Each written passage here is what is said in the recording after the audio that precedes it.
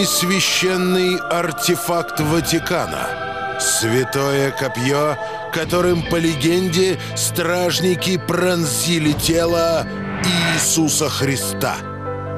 У него много имен. Копье судьбы, копье власти, копье Лангина. Считается, что тот, кто владеет копьем в данный момент, правит миром. Легендарное оружие побывало в руках у римского императора Константина Великого, варвара Барбароссы, вождя гуннов Атиллы, у Наполеона и Гитлера. Историки доказали, копье судьбы сохранилось до нашего времени. Правда, сейчас как минимум четыре артефакта претендуют на право называться подлинной реликвией. Это копье находится в базилике Святого Петра в Ватикане. В имперской сокровищнице Хофбургского замка хранится Венское копье. Еще один наконечник, претендующий на звание могущественной реликвии, есть в Кракове. А это древний артефакт из Армении. Недавно группа исследователей получила разрешение католической церкви провести экспертизу трех святынь в Австрии, Ватикане и Польше. Вывод ученых стал настоящей сенсацией. Все три копья оказались средневековыми подделками. Они не из эпохи Древнего Рима. И только одно копье не было изучено исследователями. Оно хранится в храме армянского города Эчмиадзин.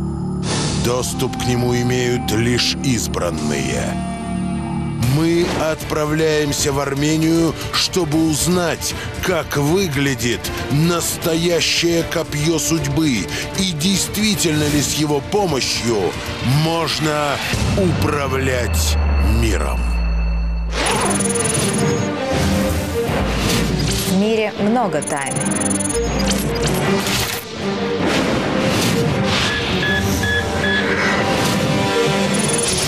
Одна из них будет раскрыта сегодня.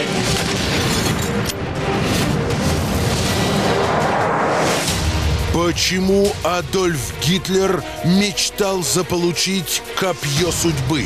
И Гитлер рассказывал о том, что он предложил свою жизнь Где прячут настоящее копье Лангина?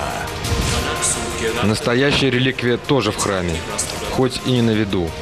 Какой силой обладает христианская реликвия? Мне стало трудно дышать. Тело покрылось испариной. Потомки вождей русской революции знают, кто на самом деле управляет миром. Сенсационное интервью Стюарта Свердлова. все основные мировые лидеры. За их спиной стоит комитет 300. Это он на самом деле управляет миром. Что скрывает королева Великобритании? английской королевы, э, ведунья высшего первого уровня. И прячет от своих поклонников Эдита Пьеха. Я надев- надеваю это колечко только на концерты. Вещи, которые меняют мир и самые могущественные артефакты в истории человечества. До сих пор большая часть магических предметов не найдена.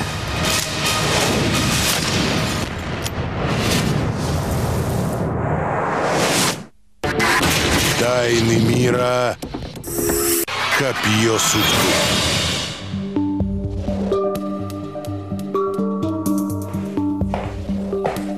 Здравствуйте, с вами Анна Чапман. Мы расследуем самые странные и загадочные явления, происходящие в современном мире. Предания гласят, что человек может достичь власти с помощью тайных ритуалов и магических предметов. Доступ к ним имеют только избранные. За талисманами власти охотятся многие. Наша экспедиция отправляется на поиски самого могущественного из известных атрибутов власти. Согласно Евангелию, этим копьем римский центурион Гай Кассий Лангин нанес последний удар Иисусу Христу. Тот, кто будет владеть копьем Лаенгина, тот получит власть над миром. И копьем Лаенгина владел Чингисхан, Тимур, Александр Македонский, Наполеон, Гитлер и далее везде. Все те, кто были у власти, они все владели копьем Лаенгина. Город Эчмиадзин, Армения. Именно здесь сотни лет хранится таинственное копье судьбы. Об этом говорят многие историки и теологи. Настоятель храма Асарик Карапетян говорит, что реликвия пришла в Армению вместе с христианством в третьем веке от Рождества Христова. Почти тысячу лет его прятали в пещерных монастырях и лишь в 13 веке перенесли в Эчмиадзинский храм. Копье хранится в нашем храме очень давно. Считается, что оно обладает чудодейственной силой. Так, в конце 18 века святыню вывозили из Ичмиадзина в Грузию для исцеления людей от свирепствующей там чумы. Этот мужчина приходит в храм практически ежедневно. Здесь его приветствуют как хорошего знакомого. Армен Казарян уверен, копье судьбы спасло ему жизнь. Несколько лет назад у меня обнаружили рак на последней стадии. Операцию врачи делать отказались. Сказали, помочь может только чудо. Несколько недель подряд Армен ежедневно молился у копья, взывая о помощи. И вдруг произошло нечто невероятное. Мне стало трудно дышать. Я задыхался и вдруг потерял сознание. Несколько дней пролежал в постели в лихорадке. А спустя месяц прошел обследование, и мне сказали, что я здоров. Интересно, что точно так же описывал свои переживания от встречи с копьем судьбы и один из самых страшных тиранов в истории человечества – в 1909 году его еще звали Адольф Шикельгрубер, и он каждый день приходил в Венский музей Хофбург. Его интересовал один экспонат – копье Лонгина. Позже Адольф Гитлер в своей книге «Майн Кампф» так описывал ощущения от встречи с могущественным артефактом. Он долго смотрел на копье, и перед ним предстала некая фигура, жесткое властное лицо, необычайная сила исходила от него. И Гитлер рассказывал о том, что он предложил свою жизнь, свою душу в обмен на те духовные, скажем так, дары, которые может предложить эта сущность. Копье стало настоящей манией Гитлера. Многие считают, что именно из-за копья судьбы германские национал-социалисты в 1938 году пошли на Австрию. Гитлер пришел в Венский музей, увидел копье Лаенгина и сказал, что он придет к власти. Да, он ушел в транс. Он понял, что путь к власти лежит через то, что ты должен себя сконцентрировать на этом. На мысль о власти натолкнуло его копье. Гитлер верил, артефакт нельзя купить или выменить. Его нужно непременно захватить силой. Страна капитулировала, и начинающий диктатор завладел музеем, где хранился могущественный артефакт власти. Этот, в общем, жалкий и в общем, достаточно ничтожный человек а, а, приобрел э, разрушительную э, власть над людьми, а власть это как такое вот наиболее э, яркое проявление влечения к смерти. Именно после победоносного австрийского вторжения неказистый заикающийся ефрейтор развил свой главный дар – дар красноречия. Контуженный, отравленный газом, не умеющий, извините, бездарный рисовальщик, бездарный философ – взял копье Лаингина и устроил Третий Рейх, Холокост, э, концлагеря, э, печи Освенцима, бомбардировки. Он верил, что получил в свои руки атрибут абсолютного могущества. Но продержался у власти в Европе всего 12 лет. Почему копье судьбы не спасло Третий Рейх? Эксперты полагают, ослепленный мечтами, диктатор принял музейную копию за настоящую реликвию. Всегда возникала смутная догадка, а то ли это копье вообще? И могло ли э, зло, такое вселенское зло, быть связано вот с такой великой христианской реликвией? В 2003 году было проведено тщательное исследование австрийской реликвии. Выяснилось, что это копье прошло через руки многих властителей, мечтавших о мировом господстве. Оно действительно очень древнее, седьмого века нашей эры. Но это всего лишь копия копья Лангина. Другие копья реликвии, хранящиеся в Ватикане и Кракове, оказались еще более поздними копиями. А вот с армянским артефактом все не так очевидно. Это знаменитая Туринская плащаница, которой обернули тело Христа после распятия. Видите? На ее фоне остались очертания его лика и фигуры со следами от ран. Смотрите внимательно – Форма копья, которая хранится в Очмедине, точно соответствует форме и размерам раны. И это не единственное доказательство.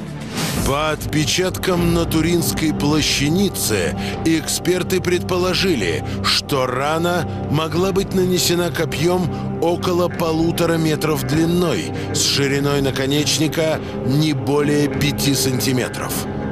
Кроме того, один из апостолов особым образом отметил копье судьбы. Э, апостол Филипп сделал такую одну как заклепочку такую поверх этого копья, он наложил и впаял туда еще такой крестик.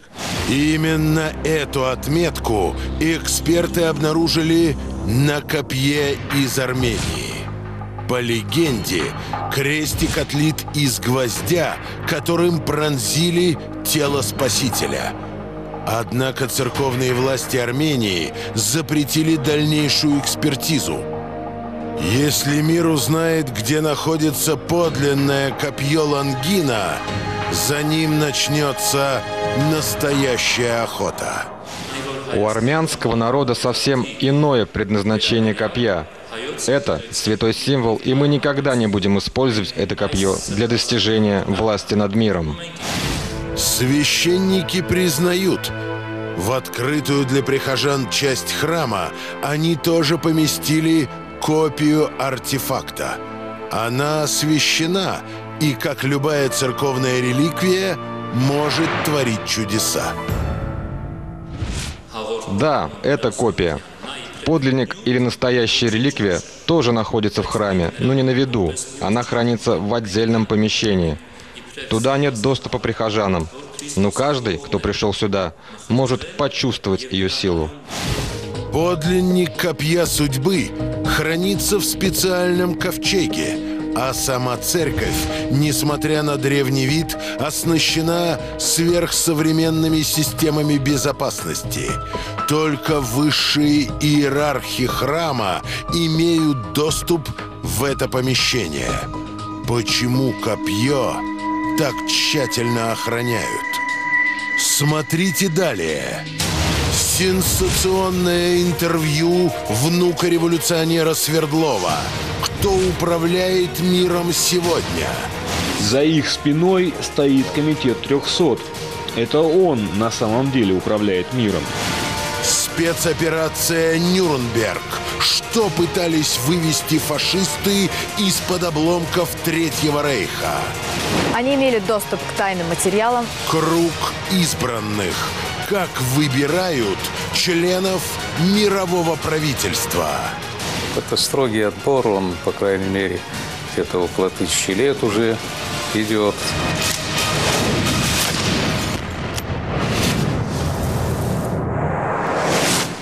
Многие исследователи уверены, самый могущественный артефакт всех времен – копье Лангина – все-таки хранился у Гитлера. Но после войны его похитили американцы, а в Вену вернули лишь копию. В 1944 году Гитлер приказал вывести свою коллекцию магических предметов из Нюрнберга. Но спецслужбы Рейха совершили фатальную ошибку. Собрав все экспонаты из золота и драгоценных камней, агенты в спешке даже не обратили внимания на почерневшее от времени копье. В 1945 году его нашли американцы, захватившие Нюрнберг. Позже американский генерал Кларк вернул копье бургомистру освобожденной Вены. С тех пор этот экспонат хранится во дворце Хофбург. Но исследователи считают, что американцы отдали австрийцам подделку, а сам артефакт оставили себе. Любая, в общем, тоталитарная власть, она э, требует некой мобилизации населения. Поэтому самый простой путь, который как бы напрашивается, это создание некой элиты. Именно после Второй мировой войны Америка стала сверхдержавой. А ведь до этого ее экономика испытывала жесточайший кризис – Неужели это после захвата копья судьбы деньги и власть посыпались на Соединенные Штаты, как из рога изобилия? Уже в 45-м они взорвали первую атомную бомбу, восстановили свою, а потом и европейскую промышленность. Американский писатель и внук русского революционера Стюарт Свердлов считает, что копье судьбы захватили даже не лидеры США. Оно в руках гораздо более могущественной организации, которая управляет всем миром. Просто базируется в США. Это те, кто контролирует крупные правительства в Соединенных Штатах, Западной Европе и даже в Азии и Южной Америке. Все основные мировые лидеры. За их спиной стоит комитет 300. Это он на самом деле управляет миром. Стюарт знает, о чем говорит. Он внук Якова Свердлова, одного из вождей русской революции. В свое время Свердлов помог Ленину перевернуть мир, санкционировал расстрел царской семьи и стал идеологом красного террора. Стюарт уверен, в 1917 году власть в России захватили совсем не коммунисты. Эта идея была лишь прикрытием для планов тайного мирового правительства – Новый мировой порядок заключается в глобальной диктатуре с созданием иллюзии свободы. Как они говорят, лучший раб – это раб, который не знает, что он раб. По мнению младшего Свердлова, копье судьбы не случайно переходит из рук в руки. Кому его передать, решает тайный консилиум из трехсот могущественных семей. Артефакт дали Гитлеру для вполне определенной цели. Хотели проверить, насколько управляемым будет общество, охваченное национальной идеей. Этот эксперимент привел к глобальной катастрофе.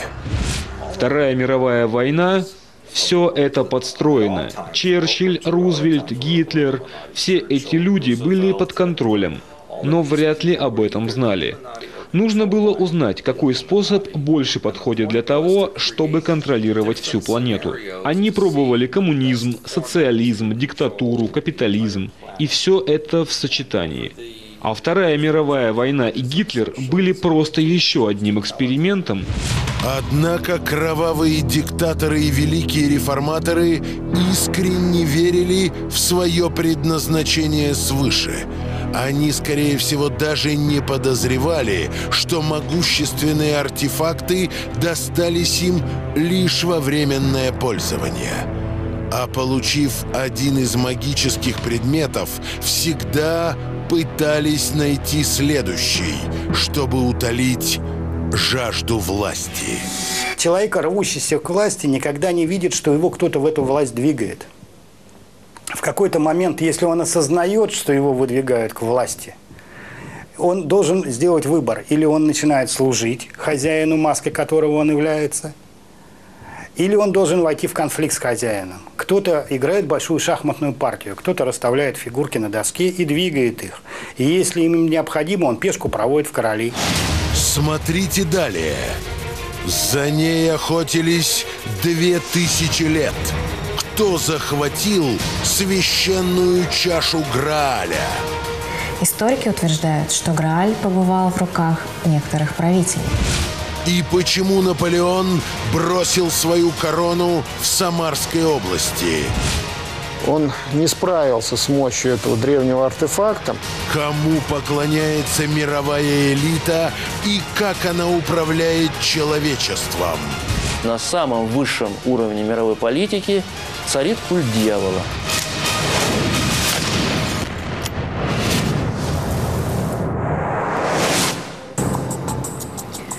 Но не только Гитлер искал магические атрибуты власти. В середине 20-х годов в Советском Союзе для этого было создано специальное подразделение НКВД. Они имели доступ к тайным материалам и скрытым манускриптам, часть из которых была утеряна, а часть до сих пор хранится в архивах КГБ. В 1926 году Дзержинский отдает приказ о проведении экспедиции, которая будет искать тайные места силы. Поиски поручили некоему Александру Барченко, крайне загадочному персонажу советской истории. Достаточно сказать, что Барченко сумел убедить советскую власть в существовании демонических сил и выбил государственное финансирование для собственного оккультного предприятия, так называемой лаборатории нейроэнергетики. Александр Васильевич Барченко, ученый, в общем, самоучка, э, который занимался вот этими тоже палеофантастикой. И, соответственно, он тоже верил в различные сверхъестественные явления, в астрал. Из секретных источников нам известно, что Барченко отправился в Бахчисарайский район Крыма. Он был уверен, именно здесь следует искать предметы силы. Хранились где-то древние мудрецы, которые хранят это знание, в том числе, кстати, и знания о каком-то там сверхоружии, и что если с ними вступить в контакт и убедить их, что мы, то есть мы, Советский Союз, являемся носителями новой идеологии, что мы будем создавать будущее, о котором вы мечтали, то они поделятся с нами этой информацией. Вся собранная Барченко информация, раскрывающая тайны Крымского полуострова, сгинула в секретных архивах ВЧК. Что же искала молодая коммунистическая партия? Специалисты, знакомые с работами Барченко, говорят, его послали за чашей святого Грааля. В составе НКВД ВЧК ГПУ состоял э, некий, э, некая тайная или закрытая организация, создавала свой отдел, который должен охотиться за какими-то оккультными тайнами, а на самом деле следить за тем, чтобы эти оккультные тайны не попали в руки профанам. По преданию, из этой чаши пил Иисус Христос во время последней тайной вечери. И в эту чашу святой Иосиф собрал кровь Спасителя после казни. По легенде, чаша Грааля дает ее обладателю неземную мудрость и бессмертие. Историки утверждают, что Грааль побывал в руках некоторых правителей, но чаша всегда исчезала загадочным образом. Ведь, говорят, она сама выбирает своего хозяина. Так что ее обладателями могут стать только избранные. В 1918 году на Владимира Ленина было совершено покушение. Врачи отвели вождю считанные дни. По всем признакам он был обречен уже в первые секунды после ранения. Ведь пули не только поразили жизненно важные органы, они содержали кристаллы яда курары – Такое сочетание гарантирует мучительную смерть. Спасти вождя могло только чудо. Он угасал, он терял разум, э, болезнь уничтожала его организм, он не понимал толком, что происходит вокруг. Ленин внезапно выздоровел и вернулся к работе. Неужели экспедиция Барченко удалась, и он привез в Москву священный Грааль? Историки теряются в догадках. Посмотрите на фотографии Ленина. Он работает в разных интерьерах, но одна деталь присутствует везде. На письменных столах, на совещаниях и встречах она одна и та же. Чернильница странной формы. Кажется, вождь не расстается с ней никогда. Мог ли это быть тот самый Грааль? Разведчики знают, чтобы спрятать важный предмет, его нужно положить на самое видное место. Если ты хочешь познать большие знания, ты должен быть готовым к знаниям, и тебе откроется Святой Грааль, то есть некое вместилище знаний. Если ты не готов к получению этих знаний, то не ищи их, иди и учись. Или, как говорил дедушка Ленин, учиться, учиться и учиться. В 20-е годы чекисты совершили еще одну экспедицию в Самарскую область.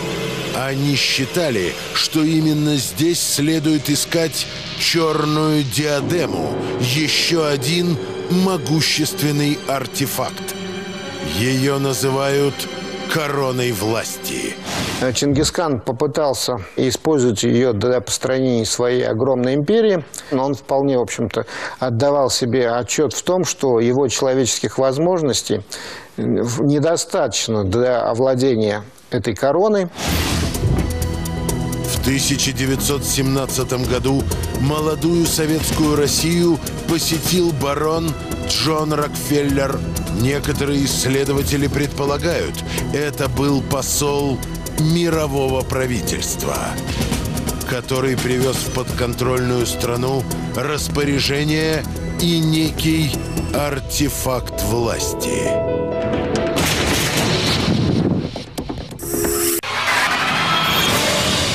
Все стенограммы переговоров советских властей и Джона Рокфеллера были уничтожены. Зато именно после этой встречи экспедиция ЧК была внезапно свернута, а ее руководитель арестован и расстрелян. Возможно, Александр Барченко мог привести в Россию то, что ему привозить не следовало. Многие вожди считали себя избранными и полагали, что могут управлять магическими артефактами. Особенно они стремились заполучить корону власти. Ведь согласно легенде, если корона попадет в руки избранного, он получит безграничное могущество. Известно, что короной власти владели Чингисхан и Александр Македонский. Из воспоминаний их современников известно, что никто из великих полководцев не решился примерить черную диадему. Оба верили пророчеству древних индийских жрецов. Носить корону может только потомок богов. Остальных она убивает. Последним этой короной обладал Наполеон – Стоя на поклонной горе, в лучах заходящего солнца, он был уверен. Весь мир преклонился перед его гением. Судя по всему, Наполеон не удержался и надел на себя эту корону. И практически одновременно с этим происходит то событие, которое нам известно, как вот этот глобальный пожар Москвы. Наполеон теряет воду, он становится не способен отдать тот или иной приказ. Историки до сих пор спорят о том, как возник пожар в Москве 1812 года. И москвичи, и даже французы пытались бороться с огнем. Но город был словно окружен огненным кольцом, которое, пожирая все на своем пути, приближалось к Кремлю. Штаб Наполеона бежал из обреченного города, а сам император попытался избавиться от злосчастной короны. Легенда гласит, что Наполеон бросил черную диадему в пещеру у горы Светелка в районе Поволжья. Экспедиция программы «Тайны мира» отправляется в Самарскую область, чтобы отыскать следы могущественного артефакта. Смотрите далее. Проклятие черной диадемы. Кто стал жертвой магического артефакта? Попытки людей использовать эту корону приводили к тому, что люди просто погибали. Почему русские цари боялись шапки Мономаха? Никто особенно не рискует одевать ее на голову. Финансовая магия. Кто колдует на бирже? Все крупные корпорации принадлежат этим людям.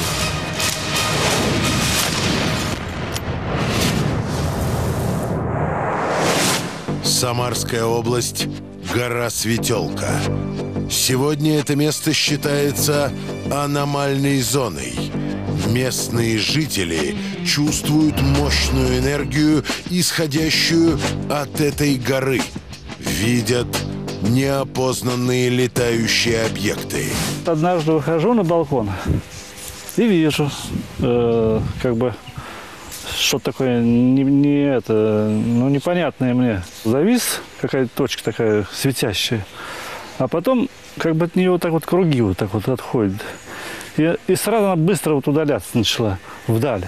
Историки Владимир и Наталья Ковалец утверждают, что именно в этих местах Наполеон бросил могущественный артефакт, символ своей власти черную диадему.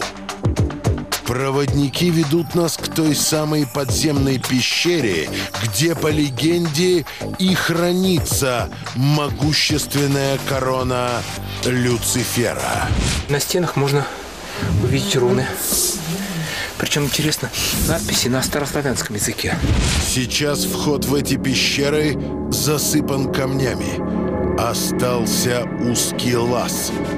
Наши проводники давно исследуют эту пещеру, но пролезть дальше, чем на несколько метров вглубь, не удается. Словно какая-то неведомая сила выталкивает людей обратно. Черная диадема э, – это может быть как э, первичная приманка для того, кто э, может быть уничтожен. Идет захватнически, с захватническими целями. Э, ему дают черную корону. Отдел готов. Да? Если человек идет для того, чтобы эту территорию усилить, то одел и получи силу. Екатерина Великая прошла здесь инициацию. Граф Орлов-Давыдов получил эти земли. Петр Великий. Проводники утверждают, все попытки организовать здесь раскопки заканчиваются неудачей. Год назад отсюда в ужасе бежала группа археологов-любителей. Двое мужчин, проникших в эту пещеру, ослепли. Говорили, что пещера выходит влево коридором, и там лежит нечто фиолетового цвета светящееся. Они говорили, что это как или груда камней, или, или корона из камней. Попытки людей использовать эту корону приводили к тому, что люди просто погибали. Пользоваться этой короной может только истинный властитель земли. С древних времен именно головной убор был атрибутом вождя. Все правители считали, что корона – это символ могущества и власти. И те, кто управляет миром, лишь поддерживали этот стереотип. Мало того, время от времени лидерам варварских племен подбрасывали все новые и новые магические атрибуты. О том, что многие предметы могут нести в себе силу и власть, гласит множество легенд. Классический пример – шапка Мономаха, которая хранится в сокровищнице Алмазного фонда Московского Кремля. Согласно легенде, этот головной убор еще в XII веке был подарен византийским императором Константином киевскому князю Владимиру Мономаху. Интересно, что после Мономаха никто из царей на протяжении почти 300 лет не использовал шапку во время официальных церемоний. У большинства русских правителей, примерявших ее, начинала страшно болеть голова. Какие заклинания наложены, это тоже никто не знает. Биоэнергетика – это тоже очень серьезная штука, и воздействовать может по-любому. Никто особенно не рискует одевать ее на голову и проводить какие-то действия. Шапку убрали в сокровищницу Кремля, где она хранится до сих пор. И даже сотрудники алмазного фонда стараются обходить ее стороной. Историки утверждают, со времен Мономаха его корону носил только Александр I. Тот самый император, который разгромил Наполеона с его черной диадемой и непобедимой армией.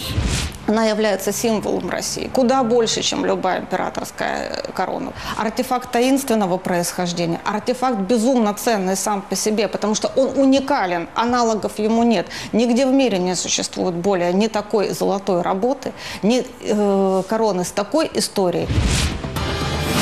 Исследователи считают, что многие магические предметы меняют ход истории. Их специально внедряет в общество так называемый «Комитет 300» представители избранных семей, управляющих миром.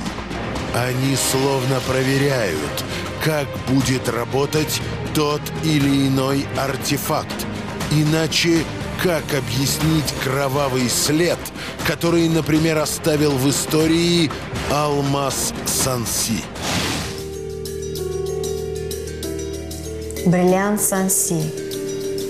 Своему обладателю он может принести как полную власть, так и смерть. Никто из исследователей так и не смог узнать, откуда появился этот роскошный камень массой более 100 карат. В Европе этот камень впервые увидели у короля Карла Смелого. Он верил в магическую силу бриллианта и мечтал завоевать всю Европу. Ни до, ни после алмаза Санси на Земле не появлялось самородков такого веса и прозрачности. Санси описывают как идеальный бриллиант без вкраплений и трещин, к тому же обладающий мистической силой. Мне захотелось теоретически, конечно, найти этот камень. И я стала его изучать историю. А каждый исторический камень имеет свою биографию. Она часто бывает кровавой. Драгоценный камень путешествовал по всей земле. Даже зная о трагической судьбе предыдущих владельцев Санси, монархи всего мира мечтали заполучить бриллиант – он блистал в коронах индийских махараджей. Им владели стюарты и бурбоны. Судьба каждого владельца заканчивалась трагически. Это исторический факт. Каждый владелец Санси погибал на пике своего могущества. И Карл Смелый его вставил свой шлем. Он в 1700, 1477 году был убит. И этот камень выпал его с шлема. Вообще камнем этим он ослеплял людей. Уже в 20 веке бриллиант Санси был куплен на аукционе Ричардом Бартоном в подарок своей жене, голливудской актрисе Элизабет Тейлор. Буквально через месяц после покупки Ричард Бартон скончался от кровоизлияния в мозг. Сегодня Санси снова затаился. По официальной версии он был выкуплен и находится в Лувре, но многие специалисты утверждают, что там хранится подделка, а настоящий алмаз где-то ждет нового могущественного обладателя. Это те, по сути дела, крупнейшие транснациональные структуры мира, которые сегодня вот, управляют всем человечеством. Это строгий отбор, он, по крайней мере, где-то около тысячи лет уже идет. Это, конечно, самые влиятельные, а значит, самые богатые люди планеты. Такое знание могло сохраниться лишь у древнейших монархий планеты. Потомственная ведунья НАТО уверена, английская королева Елизавета как раз из их числа. Английская королева – это высший уровень, она э, ведунья высшего первого уровня. То есть это самая самые сильные энергетические, так сказать, самые сильные знания. Ведунья НАТО – большой знаток магических предметов. Она, как и многие эксперты, уверены, что Великобритания получила крупнейшую коллекцию амулетов власти. Не раскрывая своего замысла, именно эта держава руководит всем миром. На самом деле центром этой мировой закулисы является, конечно же, Англия. Спецслужба Ми-6 об этом сам Колема написал. Она финансируется из э, частных э, средств королевы и некоторых частных фондов. Мы можем лишь догадываться о том, какие еще магические предметы есть в запасе у тех, кто тайно правит миром. Это продолжается уже сотни лет и более. Все крупные корпорации принадлежат этим людям. Просто сами называйте известные корпорации. И всех их контролирует Комитет 300. Смотрите после рекламы. Волшебное кольцо Эдиты Пьехи. Почему она прячет его от поклонников? Оно со мной, и оно меня греет. И я в это верю. Где сейчас хранятся предметы силы и кто умеет ими пользоваться? Талисманы э, каббалистические имеются у э, самых богатых семей э, на планете. И почему нельзя переизбрать мировое правительство? Нельзя стать членом комитета. Нужно им родиться.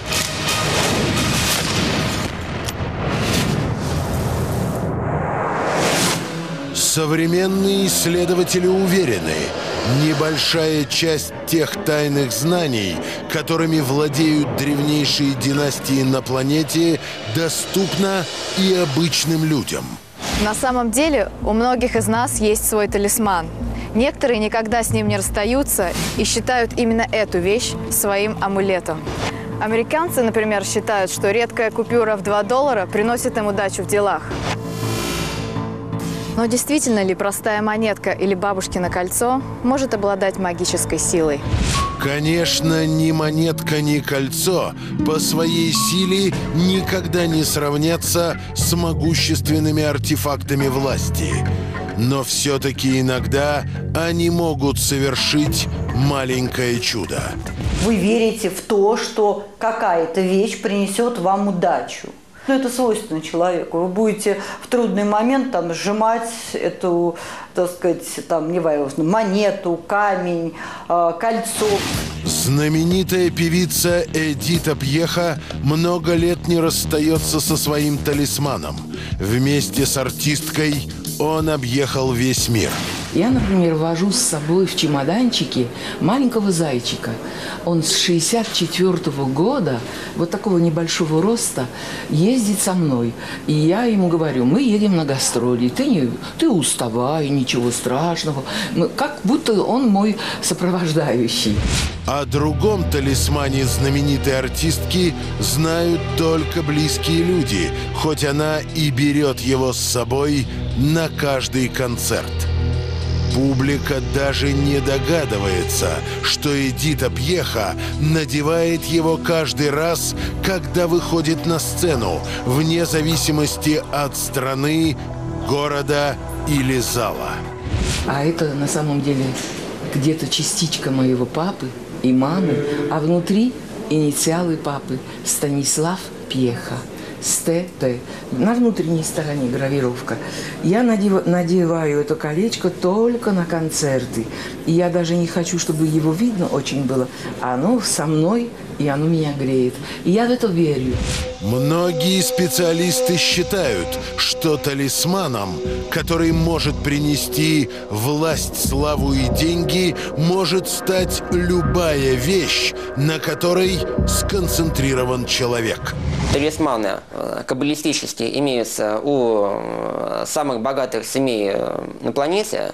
То есть это Ротшильды и другие семьи, которых записывают в масонскую элиту. Но, к сожалению, они это все очень надежно прячут от посторонних глаз.